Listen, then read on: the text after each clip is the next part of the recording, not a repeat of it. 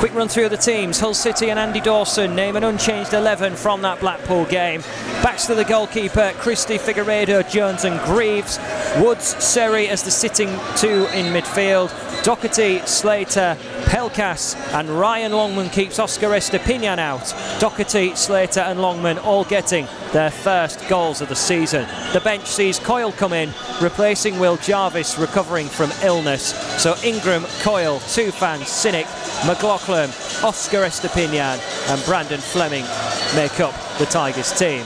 The Tigers have possession. Christie infield towards Woods, about five yards away from the halfway line, plays it down the right hand channel for Ryan Longman. Longman now being stood up by Peltier. Longman teeing it back for Docherty across the penalty area. It was an angling shot with his right foot. Now, whether or not he was looking for either Pelkas or Slater at the back stick, or if he went on his own on first viewing, it looked like he was trying to find another marvellous finish now Rotherham going for the long diagonal, searching for Norton Cuffy. His uh, control off the thigh just invited Jacob Greaves to come towards him. And Hull City win the ball back. Greaves now then, clever through ball. Don't think he meant it, but it's unleashed Docherty. Docherty towards the box, takes the shot on. Will be a corner because Johansson got his right glove to it. But Jacob Greaves, who cushioned the ball down near the halfway line and then moved the ball centrally. I think it was actually meant for Longman who was charging through the middle, bypassed him. Docherty happened to be free as a bird on the right hand side and with a side foot finish could not supply the goal which would have sent the away end to my right hand side. Absolutely potty. Greaves throws it in, chested by Slater, and the ball finds Longman, edge of the area. He's working an angle to shoot, takes it on. It was powerful and it bounced in front of Johansson, but he parcels it up. As mentioned earlier, had plenty of saving practice in the match against Stoke, and he'll need something more magical to trouble him. There's a decent effort from 20 yards. Rotherham sacrifice the ball to Pelkas. Pelkas into the area. He'll take a chance. Side footed, saved once again by the keeper. And it was the same scenario as Longman's. Didn't find a corner. Pelkas wanted to pull it across from left to right. When really he should have tried to slot it into the near post.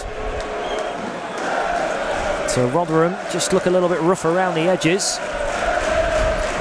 Hull City look a bit more polished as Rotherham can now maybe put an attack together and they've gone for an aerial route into the area. Eaves is header trying to find Washington. Ball bounces to Wiles!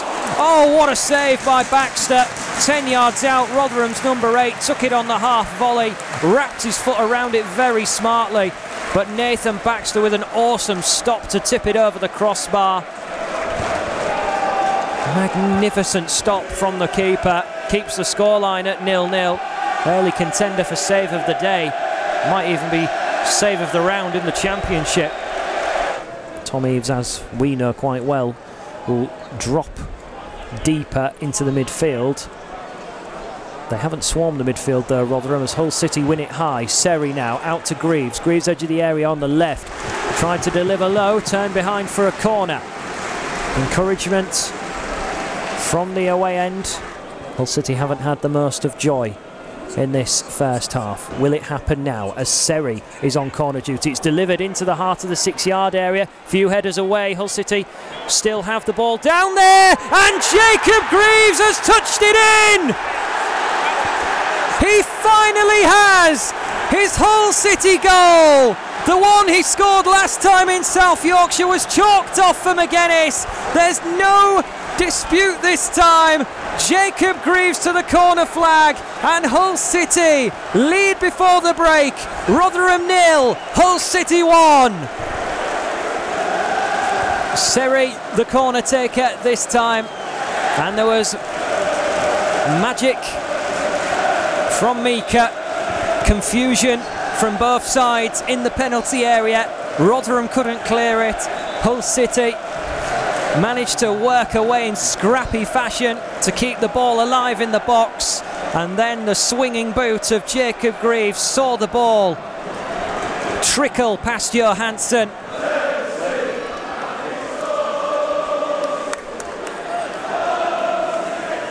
And Rotherham United now looking to get the ball in the area. They've worked it down the left hand side. Oh, what a goal!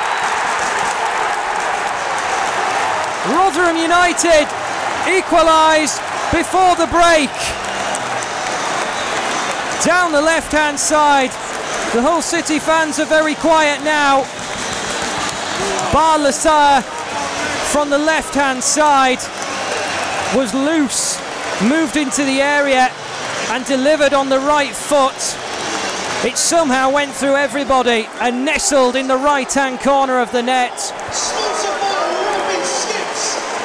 And that, when you play at home, is how you respond. The Hull City fans have only just finished their goal celebrations, and now three quarters of the stadium are up on their feet. Rotherham 1, Hull City 1. It looks like Ollie Rathbone is no longer on the pitch. But in the meantime, Hull City have this free kick, which is to the left of the penalty area. Pelkas is over it. Now it's is it too narrow to have a shot himself? It isn't. He's gone for it himself. It's pushed out by Johansson. Then Slater. Oh, what a save by Johansson. An even tighter angle. Slater went for it for the top right corner. Johansson got something on the ball, crashed into the post, and got the ball away to safety. They're going to win it back in the midfield as well. This time, Odoffin wanting to carry the ball out the midfield. Christie into the area on the right hand side. He's trying to work an angle to shoot! And Cyrus Christie has his first Hull City goal. The pressure has told. Hull City reclaim a lead they squandered at the break. And Cyrus Christie who last scored in February as a Swansea City player. He's up and running. And the two fullbacks this afternoon are the ones who have scored the goals.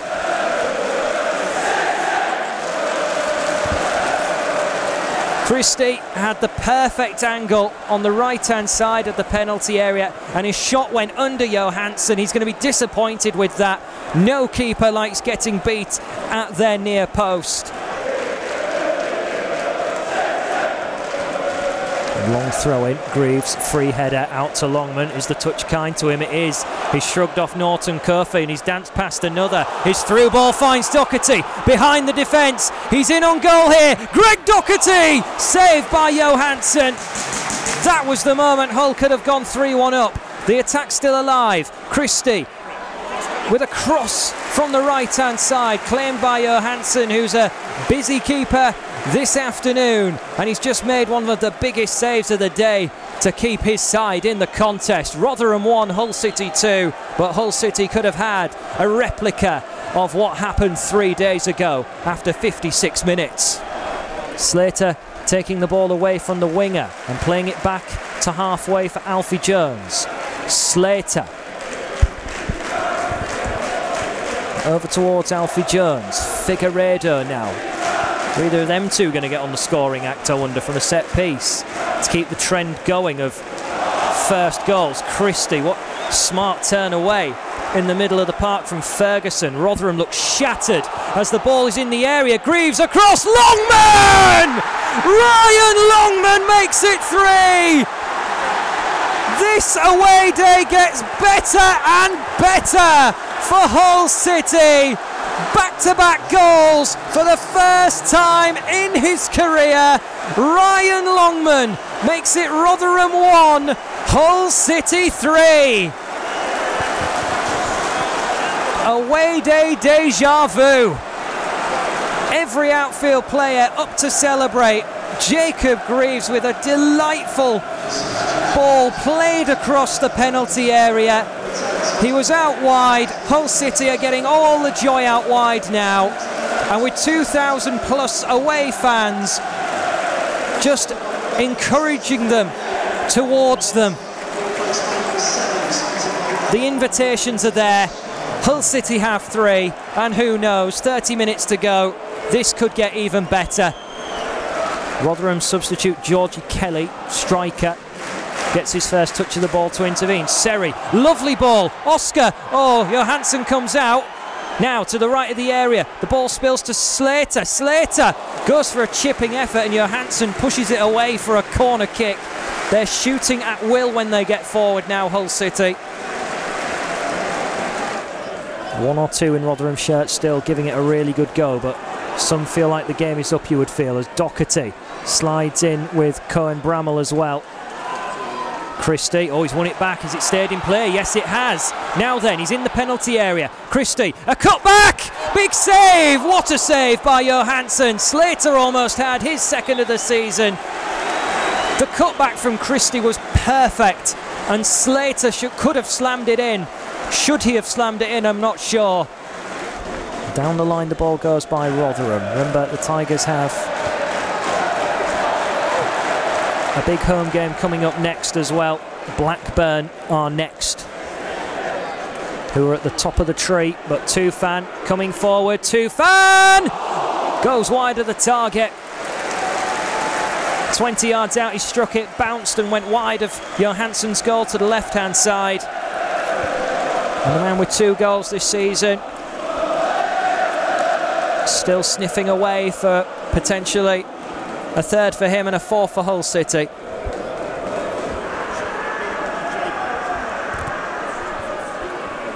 Oscar Estupiñán from the goal kick and the ball is played over the top. Tufan in behind the defence. Now can he compose himself? Tufan!